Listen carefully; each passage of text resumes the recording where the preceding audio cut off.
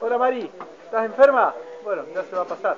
Este, lástima que no estás acá, te estamos esperando con la torta, con todo, la pasta frola, todo lo que nos tenía que traer, así que espero te mejore para la próxima. Te mando un beso, cuídate, chao.